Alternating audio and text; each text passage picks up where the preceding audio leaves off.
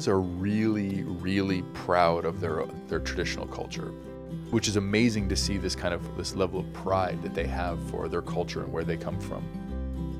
I think the new generation is taking tradition and definitely giving it a new spin. I think that a lot of young Koreans and even young people interested in Korea are seeking out traditions, Korean traditions, and embracing them.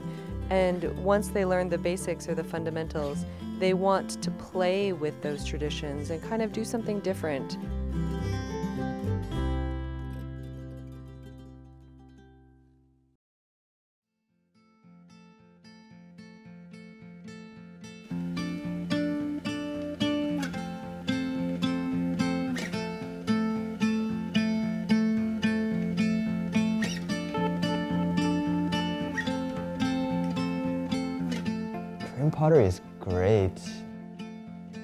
Simplicity and the elegance of each form and kind of the purpose it serves. It kind of like holds a very subtle but powerful um, presence, wh whether it's in your home or in your kitchen.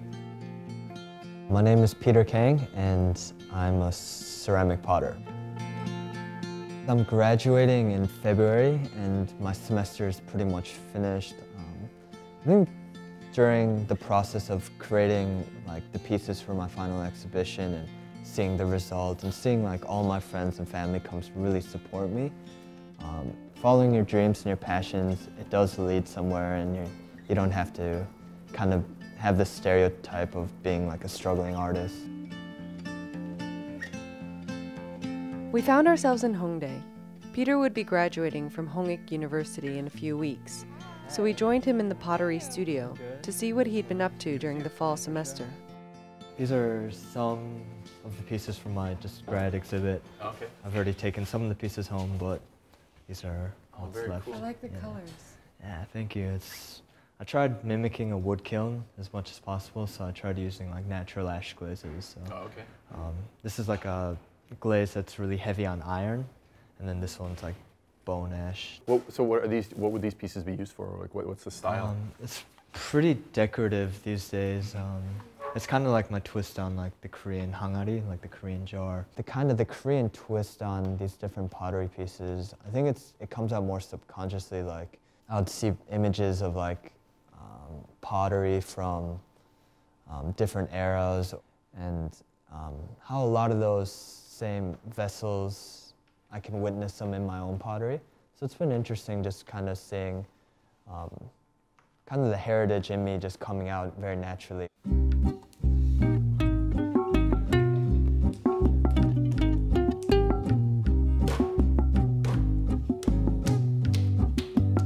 So what's the basic process that we're going to follow here? Um, so we'll center and we'll open and we'll just create a cylinder just to begin with. Okay.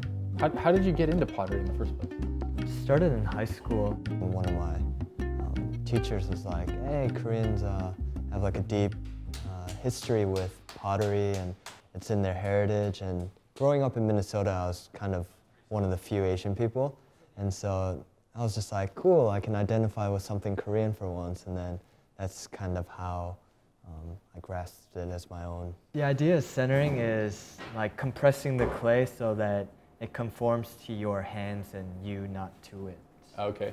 And so from the side, you'll be giving pressure from the side, like using like this area. So, but at the same time, you want to kind of be cupping your hand on top, and you want to like apply pressure from the top. One of the first things I learned was like easy on, easy off. So like when you come onto the clay, you want to gently touch it, and then you want to like compress the clay.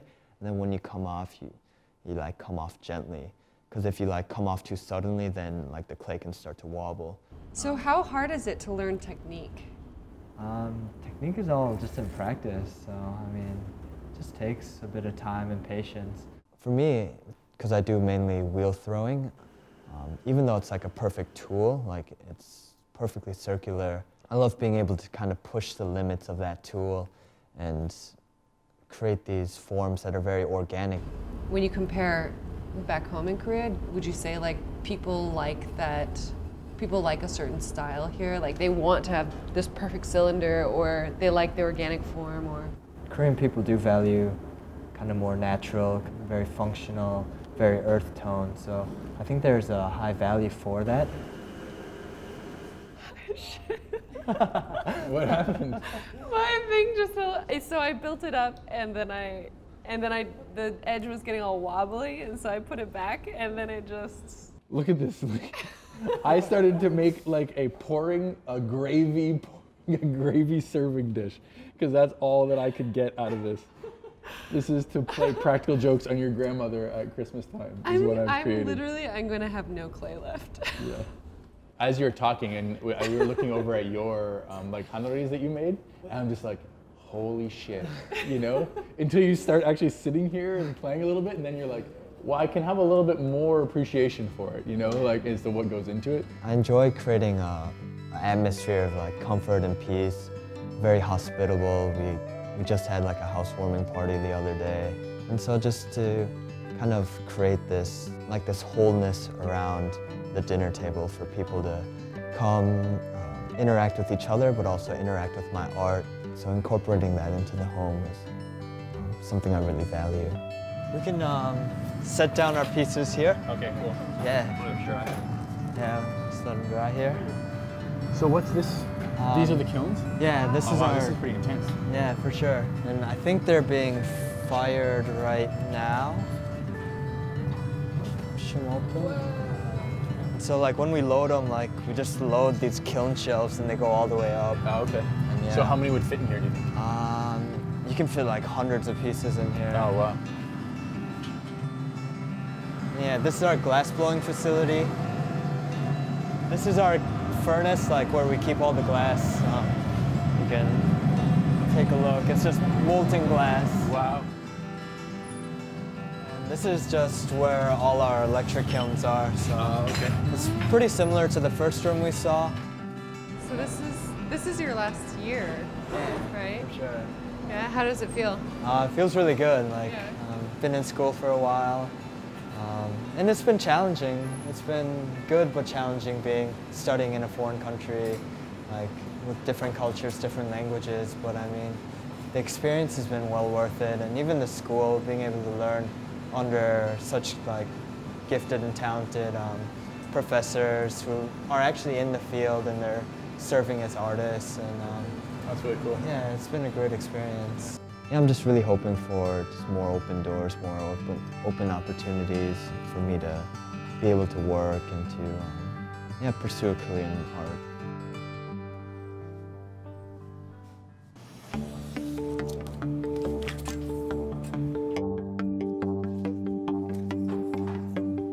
We left Peter to meet up with Chris, a graphic designer who had organized a typography exhibition in Gunja. Titled Post Text The Destiny of Shit. The show featured 28 international designers and played with modern explorations of a familiar script, Hangul. There's kind of a crew of friends that I have here, and they're all graphic designers, and they're all just like me. They're Korean American, or they're kind of almost semi sort of Korean, and they're all doing graphic design. And, and, a, and a lot of our conversations center around this grayness. We're kind of gray people. We're not, we're not Koreans, we're not Americans, we're just kind of in the middle. So we thought it'd be nice to kind of have an exhibition to kind of tell some of these stories. The, the concept behind the show is about poop, right? So we thought, okay, first let's have a, a show kind of exposing these kind of stories and relations to Korea. And we thought, let's pick a subject that relates to all kinds of cultures. And if you, you know, as you probably know, poop everywhere has a really, really kind of different kind of environment uh, or atmosphere. Koreans and Germans, I think, are very, very similar. It's part of their daily vocabulary. They'll, Yeah. they'll reference poop in all kinds of different ways. Americans, I mean, we're a little bit more sensitive about it, I think. Uh, on TV, that's a piece of poop, or, you know, like, it's a little bit more sensitive. So we thought it'd be really, really funny kind of uh, subject to kind of play with. The idea, we thought it'd be really crazy actually. We, we enjoyed kind of the shock factor of poop because I'm pretty sure, I'm not entirely sure, but I'm pretty sure in the whole world, we are the first graphic design exhibition about poop ever. I'm almost positive actually. The other things that we were interested in is how it ties back to Korea. So we made two rules. they must use a proverb about poop. And Koreans have tons and tons of proverbs about poop. The other thing is they must use Hangul. And for this exhibition, this is the first time a lot of these designers were using Hangul. They've been very well trained in Roman typography, but they've never had to use Hangul before. I'm particularly fascinated by type because I think it's amazing in that it can communicate, but it can also express at the same time. So I think it's pretty fascinating that I can go anywhere and I can read letters, but I can also get an experience from reading letters. What is this one? This was an interesting one. She's actually German, Korean, but she is adopted actually. Oh, So okay. she has never spent a large amount of time here at all in Korea at all. Her proverb is uh, kind of a funny one. 혼인날 똥 산다. So it uh, basically equates to on your wedding day you go poop or you must take a poop on your wedding day or something like that. And I I don't quite know the meaning. It's a little strange. I know. I don't quite know the exact meaning, but she, what she was trying to interpret was, and if you look here, it's like Germany and Korea, Korea and Germany. She is again in this kind of weird place, and she expressed it in her text too, like her um, explanation for this. She doesn't feel at home either place, actually. The other funny thing is, like a lot of these proverbs, nobody, nobody uses them now. It's really strange. Like I think 70% of them had to do a lot of research. Like they had to ask their parents, they had to ask their grandparents, they had to ask their uncles, relatives, what the hell does this mean? Like what, what is this, you know, what, what are they trying to get at with this? And that was kind of fun too. So it was, again, it was a way for them to kind of have to reach out and kind of find some kind of connections. Actually, this is uh, the poster that I was working on. What is your proverb? It's uh, 제동 밟고 밟고 주제 uh, 주저앉는 격 actually. Eventually, I kind of got the gist that it's kind of like if you wish ill of others, you're going to be kind of swimming in your own poop actually. So don't wish or don't do ill of others. So so basically, if you look at this, I kind of wanted to make this massive poop, if you will, just like uh, hitting the very very edges of the, Yeah. the maximum print capacity actually. So this is a giant dong, which is uh, digut digut o iung. So yeah, And then Na's right in the middle. yeah, You're in that's the middle of the poop. I'm in the middle of the poop actually. Yeah, so, I like that. yeah. It's again kind of a labor of love. Like it's it's not about necessarily making some kind of profit, but I think it's just been fun. It's just been I mean, it's really cool to meet 28 other designers from all around the world that are kind of Korean and kind of do a project together. I mean, that's a really, really good opportunity. To show us how his designs came to life, Chris took us to Chungmuro. So I'm going to be taking them to the printing district of Seoul. It's one of the few areas of Seoul not changed. Like it's it's like this kind of weird mishmash of Western culture and old Korean culture, and it's very ajishi. It's like very man kind of culture. Well, I love that you can look into all these little places and they've got each one has like a printing machine and a different different style going on or Yeah. something like that. Koreans also are very kind of community based. It's like a network of printers. So, unlike the States, where printers are often outside of the city in like big kind of warehouses or, or factories, these guys are all right next to each other and they all kind of know what, each other do. And depending on the job, they kind of bounce from each other. Oh, we've got a big job, we need to press this big. This is really crazy. Yeah, really nuts. So this looks like a folding machine, right? Yeah, so this is both, I think, folding and eventually binding, actually. Oh, really? For me, these guys are. I think it could be, you could equate it to a lot of different things. Uh, an architect and a contractor or an engineer or a web designer and a programmer, uh, a graphic designer and a printer. It all kind of works the same way. Like the designer is the planner, the designer is the one that has kind of a vision, but how that comes to life, it's up to the hands of the printer. Here's our printer here, actually. Oh, okay. So Yeah. this is the printer that you use. Um, yeah. Cool. 안녕하세요. Eh. He's actually going to run a couple proofs. I just check the color. If everything looks okay, then he's going to fire up all that I need actually. So here in Korea, it's really fast. They'll crank it out in a night or two nights, something that in the States will take a week or two weeks actually. It's really funny. A conversation I'll often have, I'll ask him, well, when, when are you going to get this done? He's like, oh, I'll get it done by tomorrow. I'm like, what the? Are you serious? And he's like, yeah. I'll just stay up all night. And I'm like, oh, you don't need to stay up all night. He's like, oh, I was going to stay up all night anyway, so don't worry about it. So it's, it's kind of like that. There's two rollers here. One is for ink and one is for water. Okay. And the way they combine, the water repels the ink. Okay. So the ink catches, and it catches on this tube here, and then the paper spits through here, and that's how it's printed. So if you This look so here, cool. it's the, the sheets are being fed into the machine right now. It helps to have a really, really good kind of relationship with these guys because they'll explain, you know, oh, the benefits of doing something like this or the benefits of doing something like that. So I think it's it's a really, really kind of nice relationship to, to keep developing. 뭐, 잘 나온 것 같아요. 어, 어떻게 생각하세요? 네. 저는 이 질감에 대해서 네, 이 네. 저희가 이게 이걸 선택했거든요. 네, 비슷한 네. 질감으로 해가지고. 아, 네네. 그 인쇄 상태는 어떠세요? 어, 제가 볼 때는 뭐다뭐 깨끗하게 나오고 뭐 괜찮은 것 같아요. 네. 아, 그래요? 이거는 근데 이거 그 먼지 때문에 지금 그렇죠. 지분에 네. 종이에 날리는 먼지 때문에 아, 그런 네. 게 나타나는 네, 거죠. 네, 네. 오케이. 네. 저는 뭐 괜찮습니다. 아, 그래요? 괜찮아요. Cool. So are you going to take this stuff home with you today, or No, he said it's going to take a day to dry, and then tomorrow, Saturday, I guess they're working tomorrow. Yeah. They're gonna fold and cut it tomorrow, actually. Well, thank you so much for showing Showing us us, it was everything. really It was really cool. 아, 네. 되게 고맙다고 네. 말씀드리고 싶었어요. 아, 예, 고맙습니다. 네, 네, 감사합니다. 고맙습니다. 수고하셨습니다. It was clear we had found a generation of artists that were exploring traditional Korean culture in a new way. We decided to look at a craft that most Koreans were very familiar with makgeolli.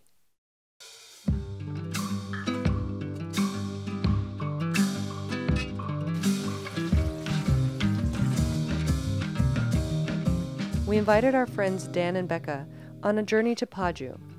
It was where we found Hung Suk's brewery, an expert makgeolli maker. She was one of the few brewers who still use traditional methods. 네, 첫째는 이 쌀을 옛날에 어르신들이 그렇게 한 4시간을 불렸다가 맑게 깨끗이 식는 게 제일 맑은 술을 만드는 거거든요. 그래서 손가락을 이렇게 딱 옮아가지고 쌀 씻을 때 아, 원을 계속, 돌리면서 계속. 작은 원을 돌리면서 예. 그러면서 계속 수- 수돗물을 해서 맑은 물이 나올 때까지 이렇게 한 30분을 계속 원을 돌려가면서 Makgeolli isn't really that hard to do.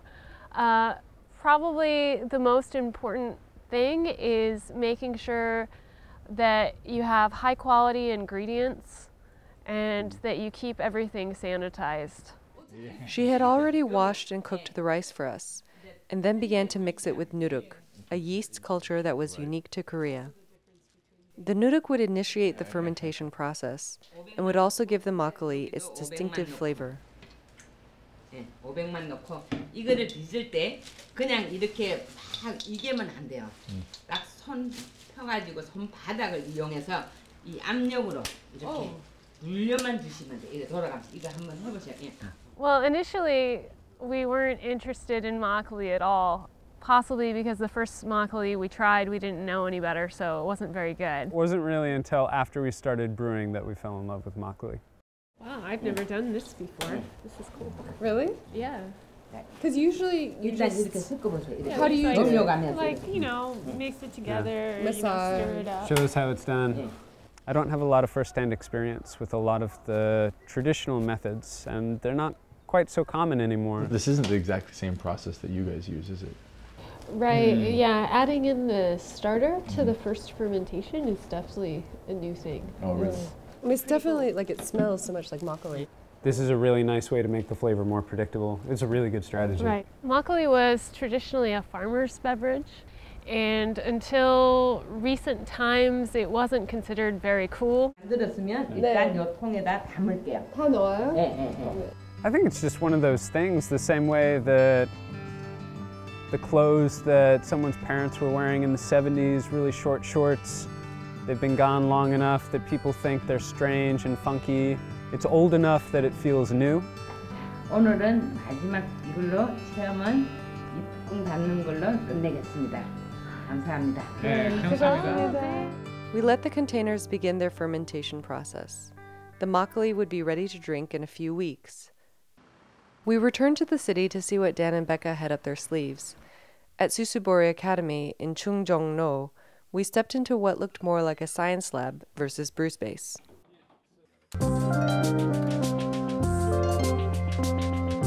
Susubori uses a lot of modern equipment as well as uh, a lot of modern research. So what are we working on today?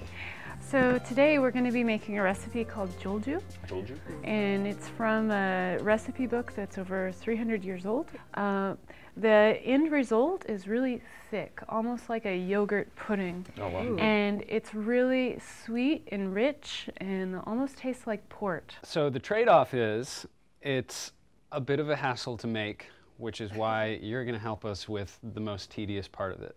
Okay, cool. As of now, this is uncooked. Okay. And what we're going to do is make something called gumongdok, which is um, like a boiled rice donut.